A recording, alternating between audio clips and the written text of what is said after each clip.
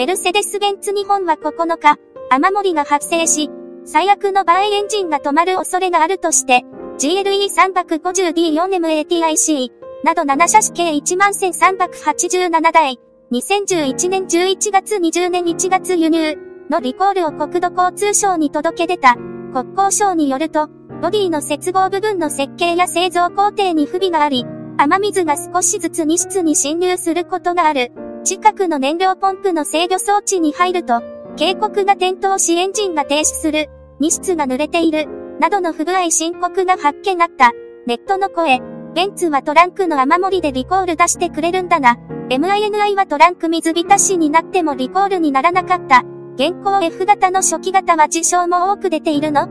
?2、保証期間中で、対応部品で無償修理になったけど、もし、トランク内にたまたま、思い出の品とか、高価なものが入っていたら、と、思うと、修理だけじゃどうしようもない気もする。雨漏りでリコールでなかったってコメントすると、雨漏りくらいでリコールなんて出ない。車の走行に危険がないと出ない。無知は黙ってろ。みたいなこと言われたりもしたけど、雨漏りってことは、どこかしらショートや不足の可能性があるんだから、リコールは当然でしょうと思う。リコールは、保安基準、国土交通省により定義されたもの、に該当するかどうかどうかが判断基準であり、メーカーの裁量ではありません。改善対策や、サービスキャンペーン、メーカーの意図で対応するものとは種類が異なります。メーカーの好き嫌いを投稿、宣伝、するのは良いですが、彼らはあくまで事務的に届け出ているだけです。ただし、隠し通すか、今はありえないと思いますが、